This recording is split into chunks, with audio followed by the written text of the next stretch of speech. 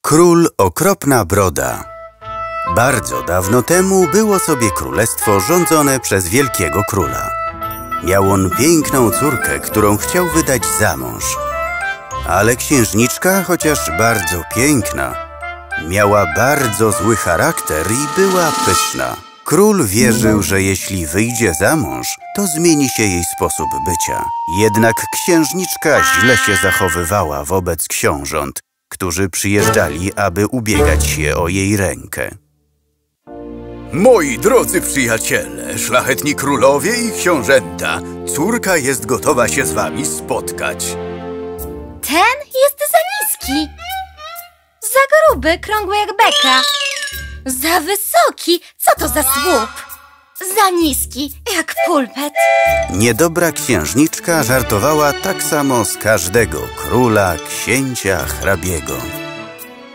Jej ojciec był wściekły, ale nigdy nic nie mówił, dopóki nie obraziła pewnego dobrego króla z brodą.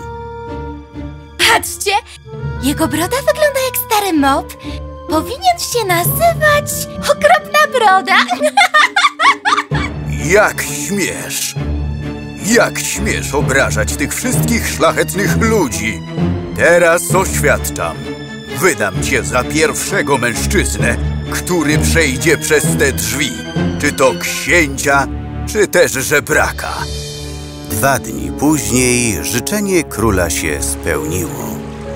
Gdy pewien flecista wszedł do królewskiego ogrodu, zaczął grać na flecie i żebrać. To zwróciło uwagę króla. Kazał przyprowadzić flecistę i zgodnie ze wcześniejszym oświadczeniem wezwał córkę, by wyszła za niego za mąż.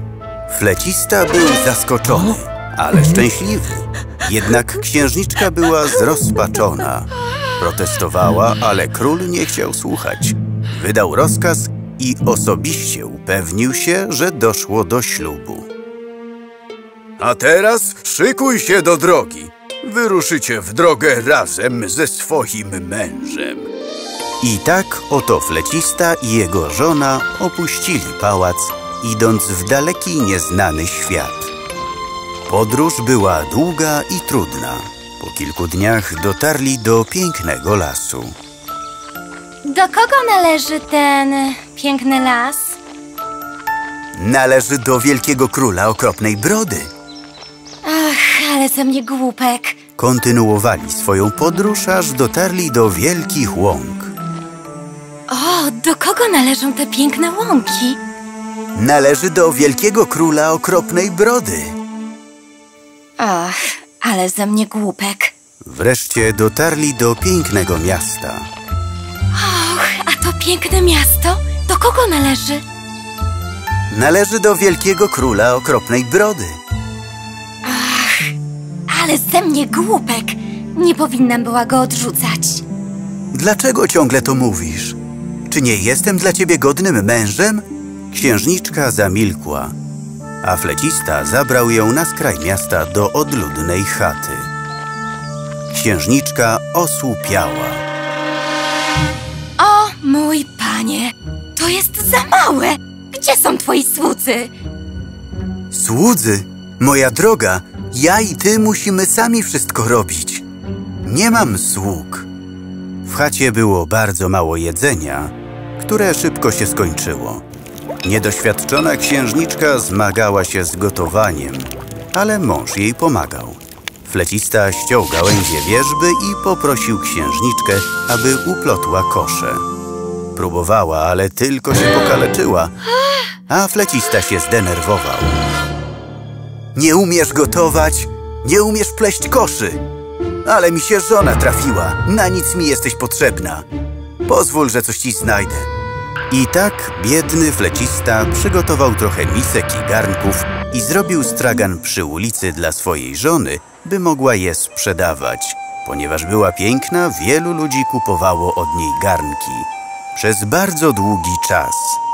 Aż pewnego dnia, gdy ustawiła stragan na skraju ulicy, pijany żołnierz kłusując wjechał w stoisko i zniszczył wszystkie garnki i miski.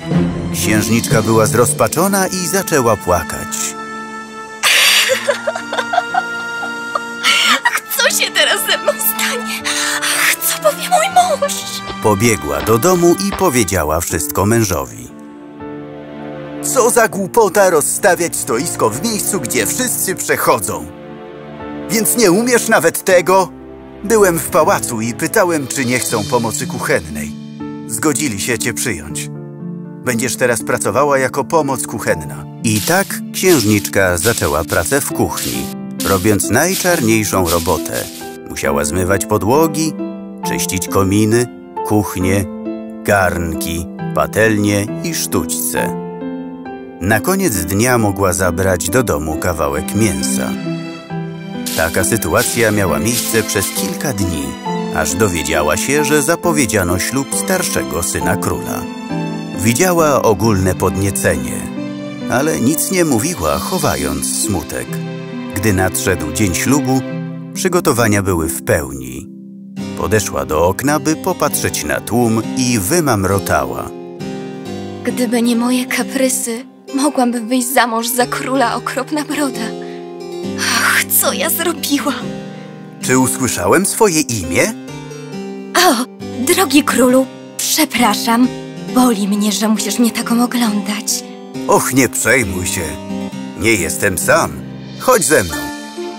Zabrał ją do sali ceremonialnej, gdzie byli już wszyscy arystokraci, łącznie z jej ojcem. Wszyscy zaczęli się śmiać z tego, w jakim była stanie. Niezwykle ją to wszystko zabolało. Przepraszam, że byłam dla was taka niegrzeczna. Dostałam swoją lekcję. Nie martw się, księżniczko. To ja jestem flecistą, który cię poślubił i żył z tobą przez te wszystkie dni. To ja byłem żołnierzem, który zniszczył ci wszystkie garnki i miski. I zrobiłem to wszystko, byś sobie zdała sprawę, że pycha to wielkie zło i najgorsza cecha, jaką można nosić w sercu. Dostałaś lekcję i pozbyłaś się pychy. Chodź, moja królowo, weź moją rękę i bądź moją żoną. Pobrali się jeszcze tego samego dnia i żyli długo i szczęśliwie. Koniec.